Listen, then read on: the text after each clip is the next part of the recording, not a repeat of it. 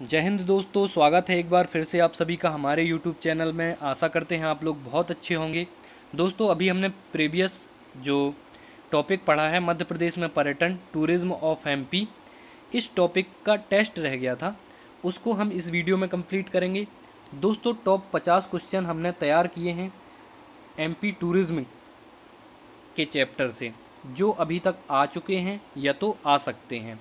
Most important session है दोस्तों इसको पढ़ने के बाद आपको टूरिज़्म में कुछ भी प्रॉब्लम नहीं जाएगी, सारे क्वेश्चन आप कर पाओगे। तो इस वीडियो को हम थोड़ा सा जल्दी में करेंगे, ठीक है? क्योंकि ये हम पढ़ चुके हैं, सिर्फ़ हमको टेस्ट लगाना है। हंड्रेड परसेंट अगर आपने पूरा का पूरा वीडियो देखा होगा पिछला वाला दोस्तों तो आपसे एक भी क्वेश्चन नहीं छूटेगा, ठीक है?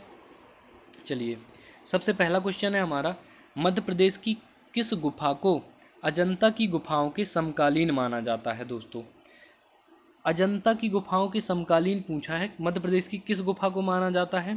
तो इसका राइट आंसर मैं थोड़ा सा रुक के बता रहा हूँ, आपको कमेंट में देते जाना है, ठीक है? वीडियो पॉज करके कमेंट में ज़रूर बताते जाना, दोस्तों। तो बताइए इसका आंसर क्या होगा? थ्री टू वन दोस्तों, इसका राइट आंसर है बाघ। बाघ की गुफाएँ समकालीन है किसके? अजंता की गुफाएँ, गुफाओं के और बाघ की जो गुफाएँ हैं, ये धार ज़िले में हैं दोस्तों।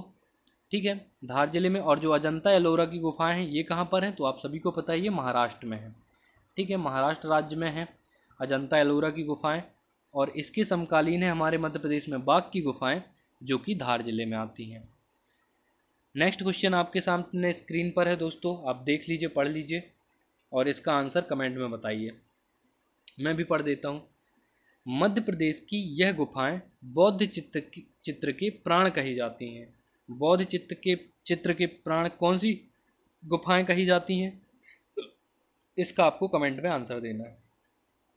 आशा करते हैं दोस्तों, आपको तो सिर्फ़ ए बी सी करके आंसर देना है ना? तो इसका आंसर हो जाएगा दोस्तों भीम बैठका की गुफाएँ। Option number C Bhimbetka की गुफाएँ। बौद्ध चित्त के प्राण कही जाती हैं। और ये कहाँ पर हैं दोस्तों? बौद्ध भीम बैठका की गुफाएँ? तो ये है मध्य प्रदेश के रायसेन ज़िले में। ठीक है? एडिशनल फैक्ट भी मैं आपको बताते जा रहा हूँ, याद कराते जा रहा हूँ। तीसरा क्वेश्चन स्क्रीन पर है दोस्तों। मध्य प्रदेश में पांडव गुफाएँ कहाँ स्थित हैं? मोस्ट इंपॉर्टेंट है दोस्तों, मध्य प्रदेश में पांडव गुफाएँ कहाँ पर स्थित हैं? कमेंट करके जवाब दीजिए। थ्री टू वन दोस्तों, जो पांडव की गुफा है, मैंने आपको बताया था कहाँ पर है? पचमढ़ी। पचमढ़ी जो कि होशंगाबाद ज़िले में आती है। अब हम ज़िले को क्या बोलेंगे? नर्मदापुरम ज़िले में। नर्मदापुरम ज़िले में है पचमढ़ी और पचमढ़ी में है पांडव की गुफाएँ, जो कि महाभारत कालीन पांडवों से संबंधित हैं। मैंने आपको अच्छे से बताया था, पांडव वाटरफॉल पूछे तो पन्ना लगा देना। लेकिन पन्ना की गुफाएँ पूछें, पांडव की गुफाएँ पूछें तो पचमढ़ी लगाना। ठीक है, वीडियो में मैंने अच्छे से बताया था आपको। बढ़ते हैं अगले क्वेश्चन में दोस्तों। मध्य प्रदेश की इन गुफाओं का संबंध जैन धर्म से है। इनमें से कौन सी गुफाएँ ऐसी हैं जिनका संबंध जैन धर्म से हो? कमेंट करके आंसर बताइए। ठीक है? मध्य प्रदेश की किन गुफाओं का संबंध जैन धर्म में से इन चारों में से एक चूज़ करना है दोस्तों। ठीक है? टाइम ख़त्म होता है। जो उदयगिरी की गुफाएँ हैं दोस्तों, उदयगिरी की गुफाएँ, इनका संबंध किससे है? तो जैन धर्म से है उदयगिरी की गुफाओं का। ठीक है? नेक्स्ट है, उदयगिरी की कुछ किस गुफा में बराह अवतार का चित्रण किया गया है? मोस्ट इंपॉर्टेंट है तो ये किया गया है। आप आंसर दे लीजिए।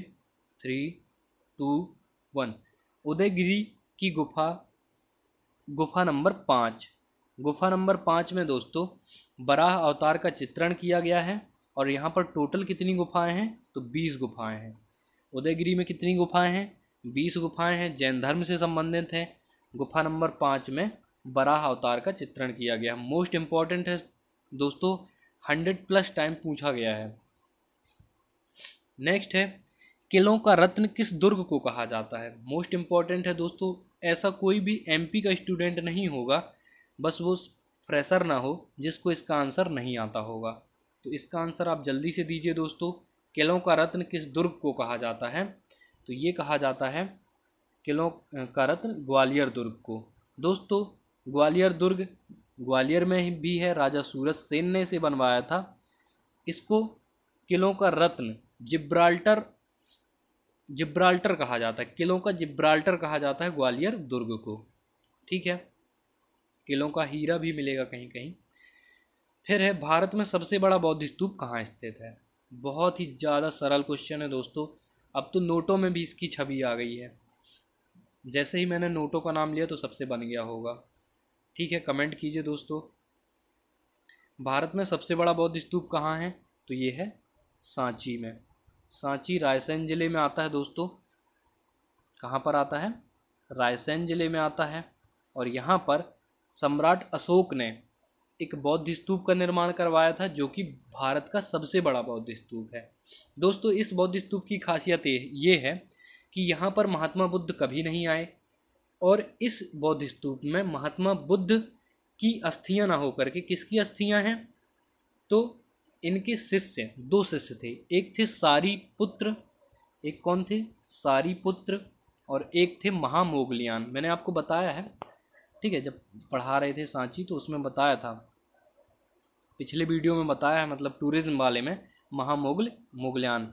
इन दोनों के अवशेष हैं किसमें तो बौद्ध स्तूप में, सांची बौद्ध स्तूप में। नेक्स्ट है हमारा दोस्तों, हिडोला महल कहाँ पर है? तो हिडोला महल कहाँ पर है? ये आपको सभी को मैं हिंट दे देता हूँ, चलो। मैंने कोड बताया था, हमारा जहाज़। इस कोड में सभी के सभी किले आ गए थे। हमारा जहाज़ में तो कहाँ के लिए कोड बताया था मैंने ये? जिसमें हाथ से हिडोला महल था। ठीक है? तो ये मैंने कोड बताया था दोस्तों। ऑप्शन जल्दी से करो। Three, two, one. दोस्तों, ये मैंने आपको बताया था मांडू के लिए, जिसको सिटी ऑफ़ जॉय के नाम से जाना जाता है मध्य प्रदेश में।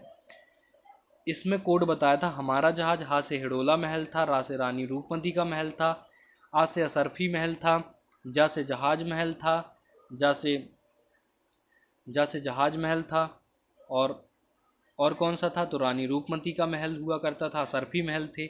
इस तरीके से नीलकंठ महल हा, हाथी महल हा से क्या था? हाथी महल था और रेवा कुंड रूप रूपमती मंडप नीलकंठ महल था लोहानी गुफाएँ थी चंपा बावड़ी ये सब मैंने आपको मांडू में बताया था। तो जो हिडोला महल है दोस्तों ये कहाँ है? मांडू में। हमारा जहाज़ कोड याद रखना। नेक्स्ट है। मध्य प्रदेश के किस ज़िले में असीरगढ़ का किला स्थित है दोस्तों? असीरगढ़ का किला मोस्ट इंपॉर्टेंट है। जल्दी से बताइए दोस्तों ए बी सी और डी तो आई थिंक आपने अभी तक बता दिया होगा, असीरगढ़ का किला था दोस्तों बुरहानपुर में, जो कि खंडवा से अलग होकर बना है बुरहानपुर ज़िला। मध्य प्रदेश का दक्षिणतम ज़िला है ये। मतलब कि सबसे दक्षिण में मध्य प्रदेश के कौन सा ज़िला है? तो ये है बुरहानपुर। जैसे नॉर्थ में मुरैना है ईस्ट में कौन है? ईस्ट में सिंगरौली है, वेस्ट में अलीराजपुर है, इसी तरह दक्षिण में क्या है, बुरहानपुर है। ठीक है तो चारों को याद रखना।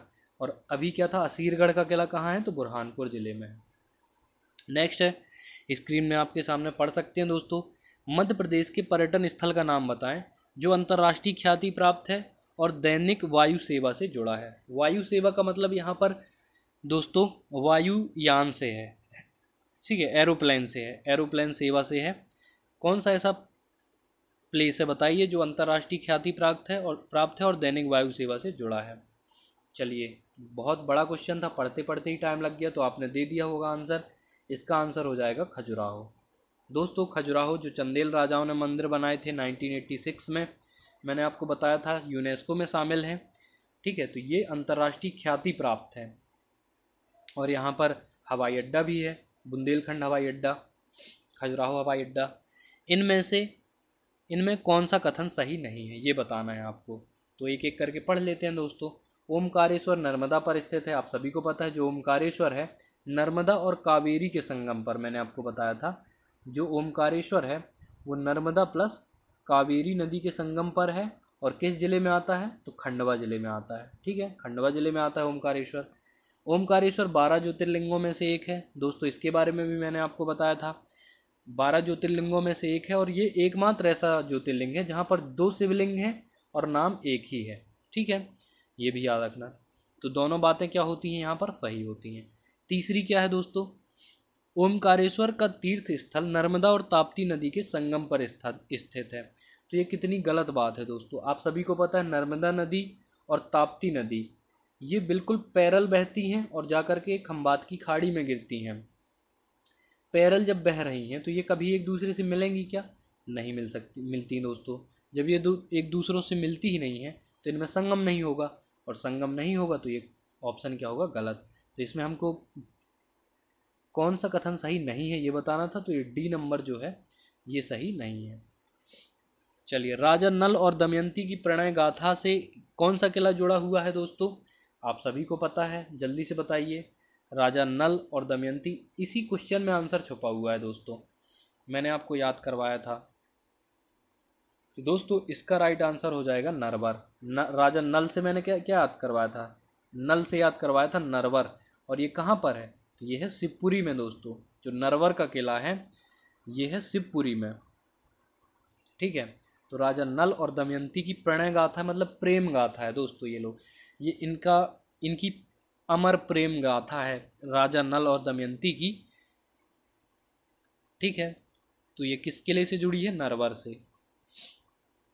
निम्नलिखित में से नेक्स्ट है, निम्नलिखित में से किस दुर्ग का निर्माण अलाउद्दीन खिलजी ने करवाया था? ये बताना है दोस्तों आप सभी को। अलाउद्दीन खिलजी, इसने किस दुर्ग का निर्माण करवाया था? आपके पास दस सेकेंड है। थ्री टू वन क्योंकि आपको ए बी सी डी तो लिखना है ना दोस्तों क्वेश्चन नंबर डाल के। तो ये है दोस्तों मंदसौर में, ठीक है? सॉरी मंदसौर का जो दुर्ग है, इसका निर्माण करवाया था अलाउद्दीन खिलजी ने। याद रखना दोस्तों, मंदसौर का दुर्ग किसने बनवाया था? अलाउद्दीन खिलजी ने।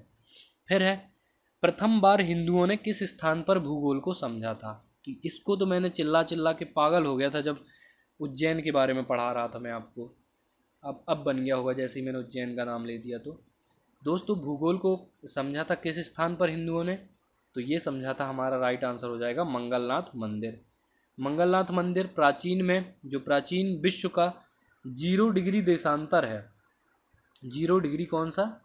दे, देशांतर यानी कि लैटीट्यूड ये गुजरता था कहाँ से? मंगलनाथ के मंदिर से। इसीलिए ये एस्ट्रोलॉजी का केंद्र रहा है मंगलनाथ। और एस्ट्रोलॉजी के लिए तो आप सभी को पता है उज्जैन भी फ़ेमस है, चाहे बरामीर हो, चाहे आर्यभट्ट हो, सभी कहाँ से कहाँ से संबंधित है तो उज्जैन से। ठीक है? फिर है, मध्य प्रदेश में मदन महल कहाँ स्थित है? तो ये आप सभी को पता होगा। इसका तो जल्दी से आंसर दे दो दोस्तों। थ्री टू वन कहाँ पर होगा दोस्तों ये? जबलपुर में। राजा मदन शाह ने बनवाया था दोस्तों, जब मैंने भेड़ा घाट आपको पढ़ाया था कल वाले वीडियो में। तो उसमें आपको बताया था जबलपुर। में क्या है? मदन महल है, जो राजा मदन शाह ने बनवाया था। फिर है जय बिलास महल कहाँ स्थित है? तो जय बिलास पैलेस भी हम आपको बता चुके हैं दोस्तों। जल्दी से बताइए। जय बिलास महल, इसी को बोलते हैं जय बिलास पैलेस। ये कहाँ पर है? जल्दी जल्दी बताइए। जल्दी जल्दी जल्दी। ये है दोस्तों डी, यानी कि ग्वालियर में। ठीक है जय बिलास पैलेस कहाँ पर है? तो ग्वालियर में आपको वीडियो पॉज करके इसका आंसर देना है, ठीक है? इसलिए ज़्यादा रुक ज़्यादा मैं रुक भी नहीं रहा हूँ, ठीक है? तो वीडियो पॉज कर लेना आप सीधे आंसर खुले, वीडियो पॉज करके आंसर दे देना। देखते हैं कितना बनता है आपसे मतलब पढ़ाने के बाद। ये देखना चाहते हैं और कुछ भी नहीं तानसेन का मकबरा कहाँ स्थित है दोस्तों? तो तानसेन का मकबरा आप सभी को पता है, तानसेन नगरी ग्वालियर के बेहट में, ठीक है? तो ग्वालियर के बेहट में स्थित है तानसेन का मकबरा, तानसेन नगरी ग्वालियर। तानसेन समारोह, दोस्तों, समारोह अभी पढ़ाया हमने। तानसेन समारोह भी कहाँ पर था? ग्वालियर में था। तो सबको रिलेट करके याद किया करो आप लोग। फिर मांडू में निम्न में से कौन सा महल है? तो मांडू जैसे ही आ जाए, हमारा जहाज़। क्या हमारा जहाज़? रानी रूपमती का महल था? हाँ था। असरफी महल था? हाँ था। दाई का महल था? हाँ था। तो ये उपरोक्त सभी इसका राइट आंसर हो जाएगा। जो मांडू है, यहाँ पर दाई का महल भी है, असरफी महल भी है, रानी रूपमती का महल भी है, हिडोला महल भी है। जहाज़ महल भी है, ठीक है, सब है यहाँ पर, सभी महल है, इसीलिए इसको सिटी ऑफ़ जॉय कहते हैं। फिर है मोहम्मद गौस का मकबरा कहाँ पर है? तो जैसे ही गौस पढ़ते हैं आप तो आपको याद आ जाता होगा, है ना? जैसे ही आपने मोहम्मद गौस बोला, क्या बोला? गौस। तो गौस बोलती हुआ आपका आंसर चला जाता होगा ग्वालियर पर। ठीक है, ऑप्शन नंबर एक, ग्वालियर। नेक्स्ट है दोस्तों मध्य प्रदेश के बरेला में किसकी समाधि है? तो मध्य प्रदेश का जो बरेला है, सबसे पहली बात तो ये जान लीजिए कि बरेला जबलपुर में है दोस्तों। मध्य प्रदेश के जबलपुर ज़िले में, जबलपुर शहर में है बरेला और यहाँ पर रानी दुर्गावती की समाधि है। रानी दुर्गावती ने अंग्रेज़ों से खुद को बचाने के लिए जब आखिरी सांस चल रही थी उनकी मतलब ऐसा लग रहा था कि अंग्रेज़ उनका, उनकी इज़्ज़त को नुकसान पहुँचा सकते हैं तो सेल्फ रिस्पेक्ट के कारण उन्होंने अपनी तलवार से, तलवार खुद के घोंप ली थी, जिससे उनकी वहीं पर मृत्यु हो गई थी। तो ये आज भी आप देख सकते हैं, जबलपुर के बरेला में समाधि है रानी दुर्गावती की। दोस्तों नेक्स्ट हमारा होसंग शाह का मकबरा किस लिए प्रसिद्ध है? सबसे पहली बात तो बताओ, होसंग शाह का मकबरा कहाँ है? कमेंट में बताओ। दोस्तों, होसंग शाह का जो मकबरा है, मैंने आपको बताया था, ये मांडू में है। ठीक है? होसंग शाह ने होसंगाबाद को बसाया है, यानी कि जो आज का नर्मदापुरम है, इसको बसाया किसने? होसंग शाह ने, लेकिन इसका मकबरा मांडू में है।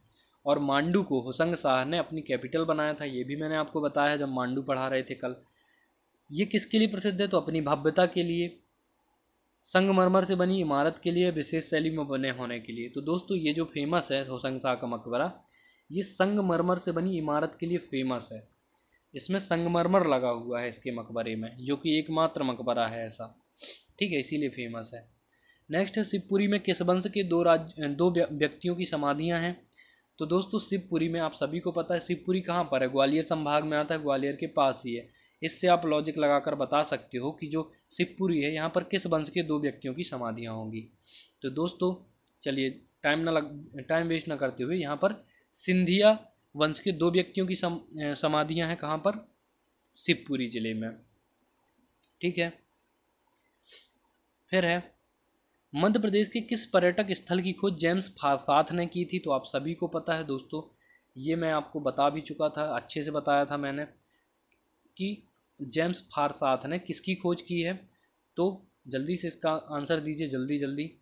दोस्तों इसकी खोज इन्होंने खोज की थी पचमढ़ी की। ठीक है? व्यू पॉइंट से देखा था ना आपने अपन ने पढ़ा था व्यू पॉइंट से किसकी खोज की थी? पचमढ़ी की किसने? जेम्स फारसाथ ने। फिर है दोस्तों राजा अमन का महल किस महल किस किले में है? जो राजा अमन है अमन आ से अमन आता है मैंने इसको कैसे याद करवाया था? अमन को अंडरलाइन करवाया था।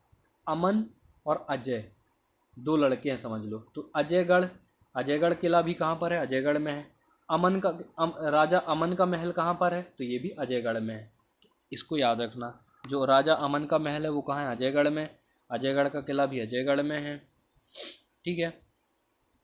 फिर है, जहांगीर ने कहाँ शरण ली थी दोस्तों? तो आप सभी को पता है, जो जहांगीर है, इसने शरण ली थी ओरछा का दुर्ग। ओरछा की दुर्ग में शरण ली थी जहांगीर ने। इसको भी याद रखना है। फिर है, रानी लक्ष्मीबाई की समाधि किस जगह बनाई गई? तो दोस्तों, रानी लक्ष्मीबाई की जो समाधि है, वो बनाई गई है। जैसा रानी दुर्गावती के साथ हुआ था, वैसा ही रानी लक्ष्मीबाई के साथ हुआ था 1857 की क्रांति के समय। इन्होंने भी मरते दम तक लड़ा, लेकिन जब ऐसा लगा कि इनकी इज़्ज़त को खतरा है या अंग्रेज़ मतलब कुछ भी गलत ना कर पाए, इनकी देह को छू ना पाए डोंट टच मी ब्रिटिशर्स ऐसा बोल करके, और अपनी ही तलवार से खुद को मार लेती हैं रानी लक्ष्मीबाई। इनकी समाधि कहाँ है? तो अब आपने आंसर दे दिया हुआ है, इसकी, इनकी समाधि है ग्वालियर में। ठीक है? याद रखना दोस्तों ग्वालियर में। फिर है ग्वालियर के किले में गुजरी महल व मान मंदिर का निर्माण किसने करवाया था? तो दोस्तों मान मंदिर से ही आपको पता चल जाना चाहिए कि मान मंदिर का निर्माण किसने करवाया था? राजा मान सिंह ने। ग्वालियर के किले में जो गुजरी महल था और मान मंदिर था, इसका निर्माण करवाया था राजा मान सिंह ने। ठीक है, आप सभी को पता है तोमरों ने भी राज किया है कहाँ पर? ग्वालियर पे। फिर बघेलन महल कहाँ स्थित है? तो हंड्रेड टाइम्स पूछा जा चुका है दोस्तों, बघेलन का महल। अब चूँकि इसका नाम बघेलन है तो आप बघेलखंड का देखेंगे, है ना? लेकिन ऐसा कुछ भी नहीं है दोस्तों। जल्दी से इसका आंसर दीजिए। दोस्तों, इसका आंसर चलिए मैं बता देता हूँ तो इसका आंसर है मंडला। मंडला में स्थित है बघेलन का महल। नेक्स्ट क्वेश्चन आपकी स्क्रीन पर है। मध्य प्रदेश के किस पुरा स्थल से सर्वप्रथम सती प्रथा के प्रमाण प्राप्त हुए हैं? आप सभी को पता है दोस्तों। जल्दी से आंसर दो इसका तो। सती प्रथा के प्रमाण कहाँ से मिले हैं आपको? ये मिले हैं दोस्तों आपको एरण से। एरण जो कि सागर ज़िले में है। सागर ज़िले में है एरण। यहाँ से आपको सती, यहाँ से सती प्रथा के साक्ष्य मिले हैं। ठीक है। नेक्स्ट है। मध्य प्रदेश के किस पुरा स्थल से चित्रित शैलकृत गुफाएँ मिली हैं? तो मध्य प्रदेश के किस किस पुरा स्थल से चित्रित शैलकृत गुफाएँ मिली हैं, ये बताना है। जैसे ही आपने चित्रित शैलकृत गुफाएँ पढ़ी होंगी और पूरा स्थल देखा होगा, आपको नाम याद आ गया होगा आदमगढ़ का। दोस्तों, जो आदमगढ़ है, यहाँ आदमगढ़ एक पूरा स्थल है, यहाँ से चित्रित शैलकृत गुफाएँ मिली हैं। ठीक है? नेक्स्ट है, इंद्रगढ़ इंद्रगढ़ पूरा स्थल किस ज़िले में स्थित है दोस्तों? तो जो इंद्र इंद्रगढ़ पूरा स्थल है, ये हमारा किस ज़िले में स्थित है दोस्तों? ये स्थित है।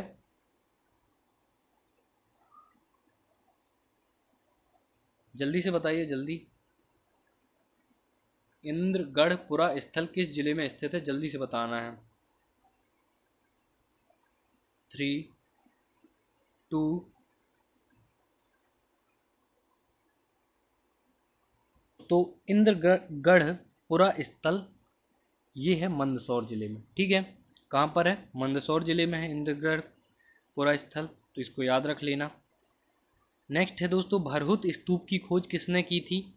तो इसमें मिसप्रिंट है, मैं थोड़ा सा बता देता हूँ। इसकी खोज की थी अलेक्जेंडर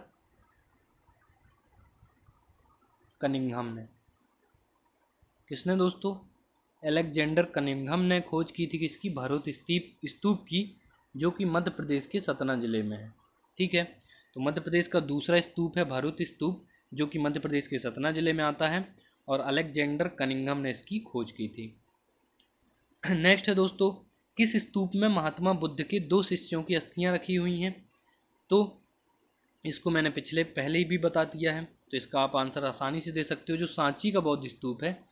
यहाँ पर महात्मा बुद्ध के दो शिष्य सारी पुत्र और महामोगल्यान की अस्थियाँ रखी हुई हैं। ठीक है? और ये किसमें रखी हैं दोस्तों? तो ये भी याद रखना कांच की मंजूसा में। कांच की मंजूसा में रखी हुई हैं। नेक्स्ट है वर्तमान तेवर ग्राम किस पुराने नगर के नाम से विख्यात है? तो जो पुराना तेवर ग्राम है ये त्रिपुरी से त्रिपुरी के नाम से विख्यात है। अभी जो वर्तमान में ये कहाँ पर है दो, दोस्तों दोनों? तो ये जबलपुर ज़िले में मध्य प्रदेश के जबलपुर में है। तेवर का नाम भी अभी भी आपको मिल जाएगा, त्रिपुरी के नाम, त्रिपुरी का नाम भी मिल जाएगा। त्रिपुरी में त्रिपुर सुंदरी देवी का मंदिर है और जो तेवर है, यहाँ पर नर्मदा नदी का घाट है तेवर में, ठीक है? तो यहाँ पर याद रखना, जबलपुर में है ये त्रिपुरी और वर्तमान तेवर ग्राम किस पुराने नगर के नाम से विख्यात था? तो त्रिपुरी के नाम से विख्यात था, ठीक है? पूरा का पूरा एरिया त्रिपुरी के नाम से जाना जाता था।